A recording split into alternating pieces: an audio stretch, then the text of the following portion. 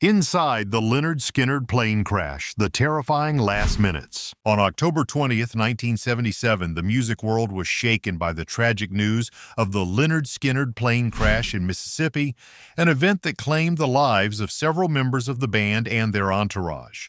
This catastrophe not only snuffed out the burgeoning careers of one of rock's most promising acts, but also left a permanent scar on the survivors and the rock music landscape. The incident, occurring at the height of Lynyrd Skynyrd's fame, underscores the unpredictable and often precarious nature of rock and roll touring life, bringing to light the fragility of life and the indomitable spirit of those affected. This article explores the circumstances leading up to the crash, starting with Lynyrd Skynyrd's rise to fame and the decision to embark on a tour that would end in tragedy. Further sections delve into the condition of the plane, early concerns raised by the crew and band members, alarming signs during the flight, and the chaos in the cockpit moments before the crash. The aftermath of the disaster, including rescue efforts, injuries, casualties, and the enduring legacy of the tragedy, will also be examined to provide a comprehensive overview of the impact of the Lynyrd Skynyrd plane crash and its significance in the annals of rock history. Lynyrd Skynyrd, an iconic American rock band, was officially formed in 1966 and later named after a gym teacher, Leonard Skinner, who had a memorable impact on the band's guitarist Gary Rossington. The band's journey to fame began in earnest with their distinctive blend of blues, country, and rock music, which quickly set them apart in the competitive music scene. The band's breakthrough came with their debut album in 1973, which featured the hit Free Bird. This track not only soared in popularity, reaching number 19 on the Billboard Hot 100 chart, but also helped the album sell over a million copies. Following this, Lynyrd Skynyrd released Second Helping in 1974, which included the anthem Sweet Home Alabama. This song reached number 8 on the charts and solidified the band's place in rock history. The album's success was mirrored by subsequent releases, with Nothing Fancy and Gimme Back My Bullets achieving platinum and gold status, respectively. By 1977, their album Street Survivors peaked at number 5 on the charts, just days before the tragic plane crash. The band's rise was also fueled by their dynamic live performances. In 1973, they gained significant exposure while opening for The Who on the U.S. Quadrophenia Tour. This exposure was pivotal, helping to expand their fan base significantly. Their performance prowess was undeniable, and by 1977, they embarked on the Tour of the Survivors, which, despite its ominous name, showcased the band's resilience and commitment to their music. The tour included a memorable performance at the Greenville Memorial Auditorium in South Carolina, just a day before their fateful flight to Louisiana. Lynyrd Skynyrd's journey to fame was marked by their innovative musical style and their ability to connect with fans through powerful lyrics and memorable live performances. Their albums and tours not only carved a niche for them in the rock and roll world, but also left an indelible mark on the genre, influencing many artists across various music spectrums. The aircraft involved in the tragic Lynyrd Skynyrd plane crash was a Convair CV-240, a model initially designed to replace the Douglas DC-3s for American Airlines. This model was the first pressurized twin-engined airliner, which debuted with American Airlines on February 29, 1948. Despite its historical significance, including its use in John F. Kennedy's 1960 presidential campaign, the plane had developed a reputation for reliability concerns over the years. The Convair CV-240 was a groundbreaking airliner in its time, designed to offer more comfort and economic operation compared to its predecessors. With a cruising speed of 265 miles per hour and a range of 1,000 miles, it was tailored for shorter routes. This aircraft was a product of an evolution from the unpressurized Model 110 to the pressurized Model 240 to meet airline demands for higher altitude and more comfortable travel. However, by the time Lynyrd Skynyrd was touring, the CV-240 was showing its age. Notably, the aircraft had been previously inspected and rejected by Aerosmith's flight crew for their tour, citing concerns about the plane and crew's standards. Aerosmith's assistant chief of flight operations observed instances of unprofessional behavior by the pilots, which included consuming alcohol during their duties. Furthermore, the CV-240 was known for several safety issues, such as a tendency to stall at low speeds and susceptibility to engine failures. These handling characteristics were particularly problematic during critical phases of flight, like takeoff and landing. The decision by Lynyrd Skynyrd to use this aircraft was driven by necessity, with plans to upgrade to a Learjet following their tour stop in Baton Rouge.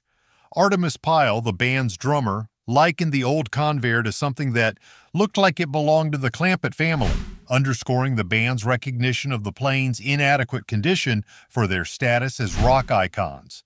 This flight on October 20, 1977, was intended to be their final journey on the outdated Convair, marking a somber end to its service.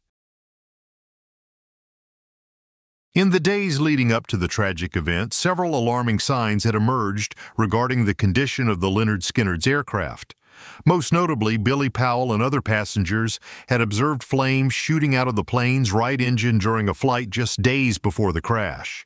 This was a clear indicator of severe mechanical issues, which were later confirmed by the National Transportation Safety Board.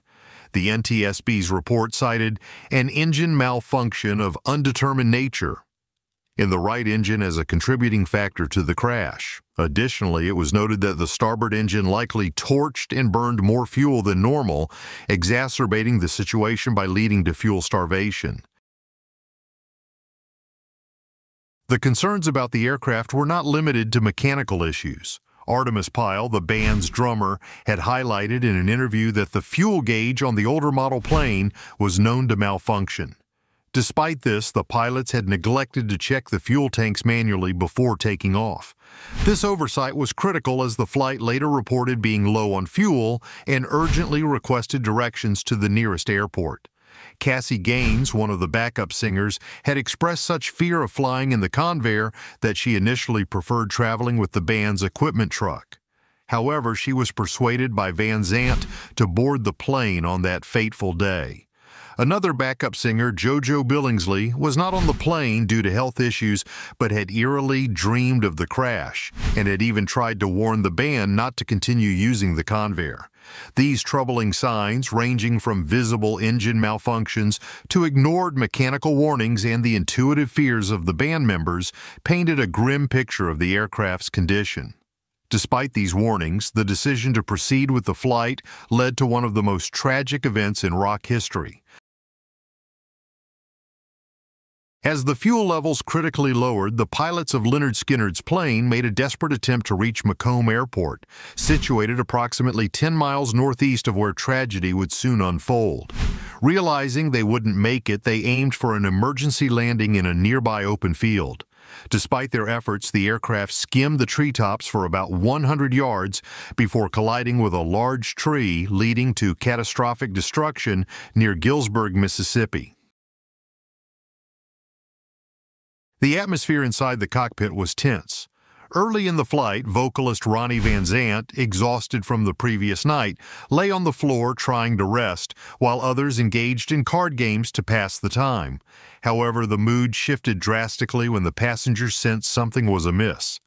Drummer Artimus Pyle, recalling the incident, described a harrowing scene where he entered the flight deck and saw the terror in Captain Walter McCreary's eyes, who urgently instructed him to strap in. The chaos escalated as the plane began its uncontrollable descent. Guitarist Gary Rossington remembered the terrifying sounds of the aircraft striking trees, likening it to the noise of hundreds of baseball bats hitting the fuselage. The impact was so severe that Rossington was knocked unconscious, later waking up on the ground, trapped under the plane's door.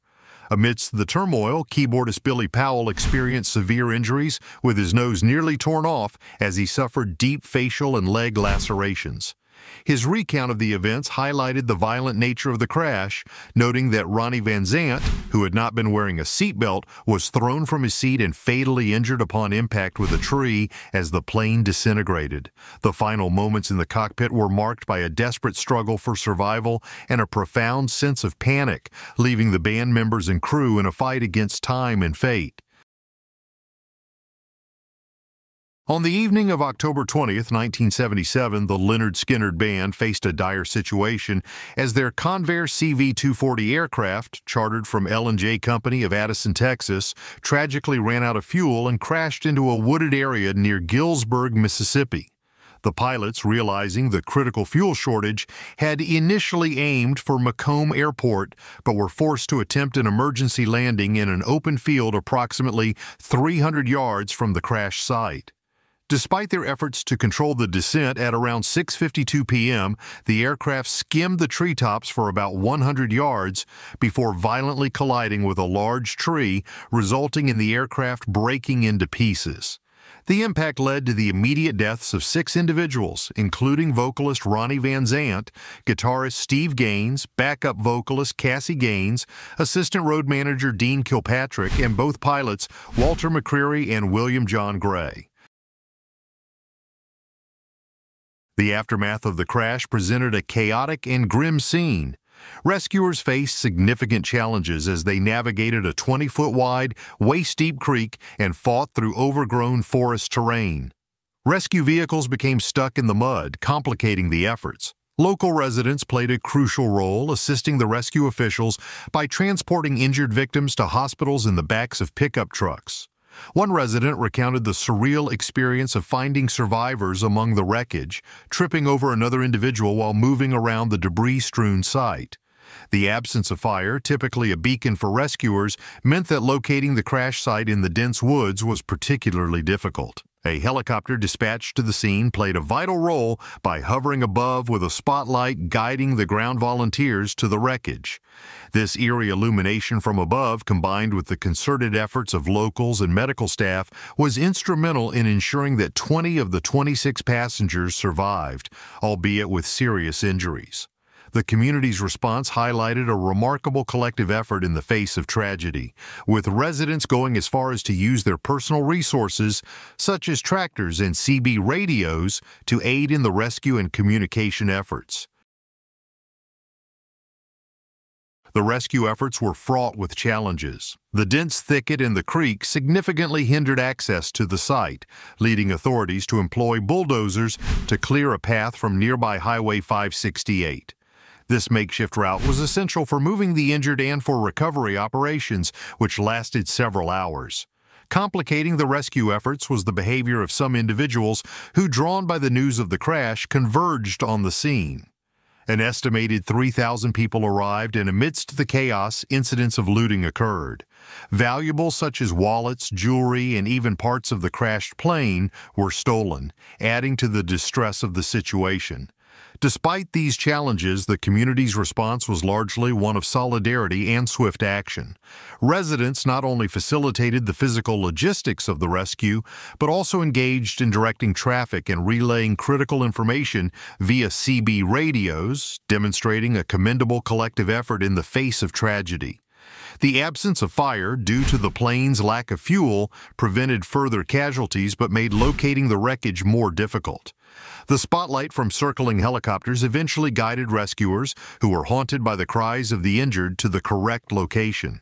The initial medical response saw the lobby of Southwest Regional Medical Center in McComb transformed into an emergency treatment center.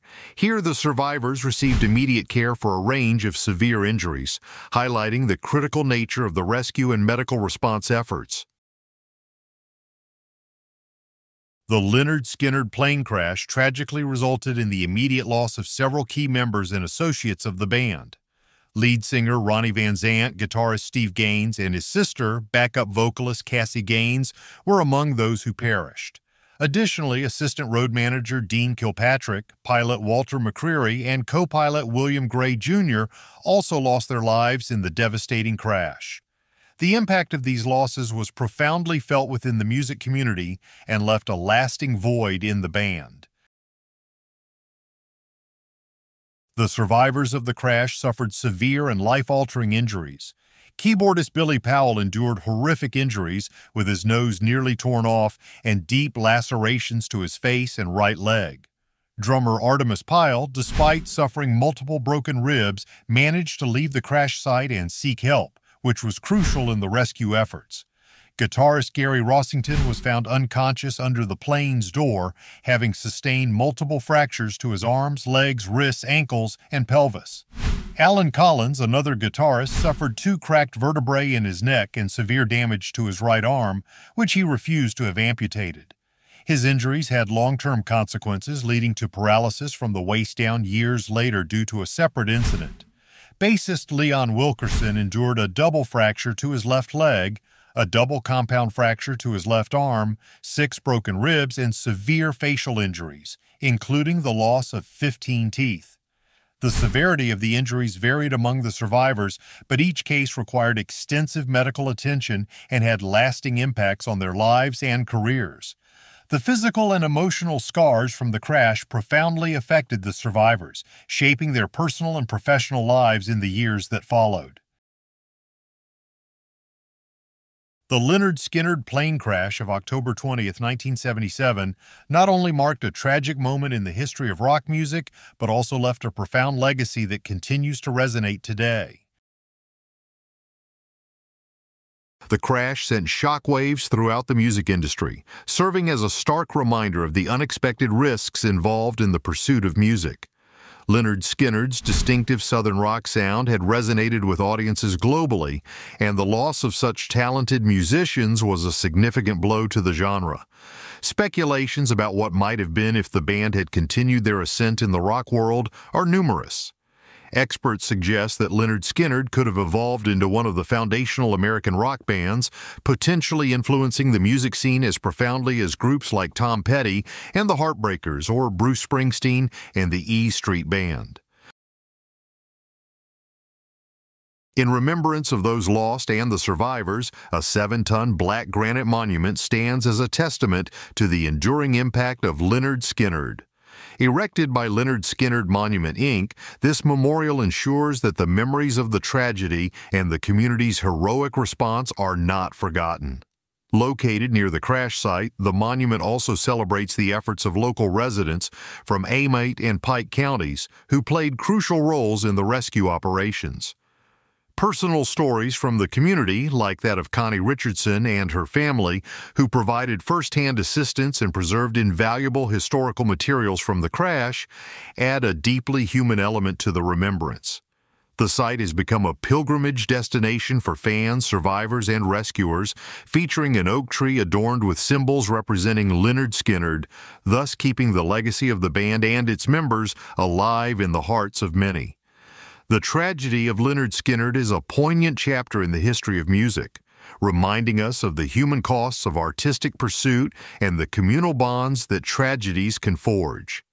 The band's music continues to live on, a lasting tribute to their talent and resilience in the face of unimaginable adversity. The tragic plane crash on October 20, 1977, that marred the journey of the iconic Southern rock band Lynyrd Skynyrd serves as a somber reminder of the unforeseen hazards inherent in the music industry and the fragility of life itself. Through a detailed exploration of the events leading up to, during, and following the catastrophic event, the narrative of Lynyrd Skynyrd's rise to fame, the terrifying moments of the crash, and the profound loss and legacy left in its wake have been intricately woven. The resilience of the surviving members and the band's enduring influence on rock music underscores the indomitable human spirit in the face of tragedy underscoring the impact of the band's music and legacy that resonates with fans across generations. In reflecting on the broader implications of this devastating event, it is evident that Lynyrd Skynyrd's story is more than a chapter in rock history. It is a testament to the power of community support and the lasting bonds formed through shared grief and perseverance. As the music of Lynyrd Skynyrd continues to inspire and the site of the crash remains a place of pilgrimage, the lives lost are honored and the spirit of the band lives on. The Lynyrd Skynyrd plane crash, while a moment of immeasurable loss, has also immortalized the band's contribution to music and culture, reinforcing the timeless nature of their work and the resilience of those who were touched by their legacy.